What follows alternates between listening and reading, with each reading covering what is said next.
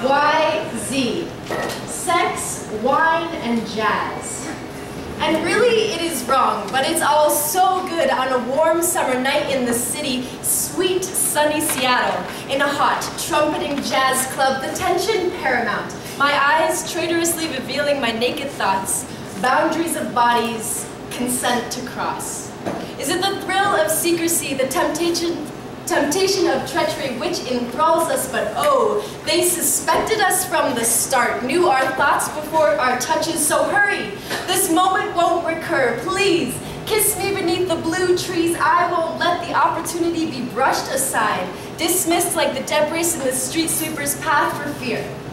For fear of the pleasure this mess might bring, for fear of the mess this pleasure might bring. See, I'm not interested in clear conscience nor spotless street corners. I'm not interested in self-control or trying to contain this attraction much longer. I'm not interested in friendship, evasive conversation, decorum, or caution. Baby, we passed those exits two breakfasts ago.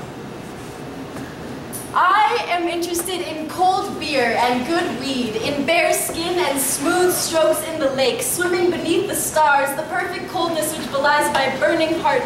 If there's any reason not to kiss you right now, tell me. Honey, our fate was sealed with a wink an hour ago.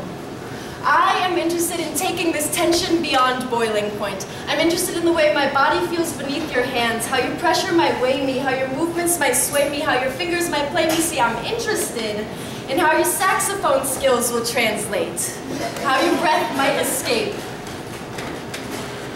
In the morning, Frida Kahlo and I gaze at one another, the woman who loved to paint herself, viewing her own dark visage through other eyes. And I wonder if you might think me as strange and beautiful, as unique and dangerous, and if we might ever paint this picture again.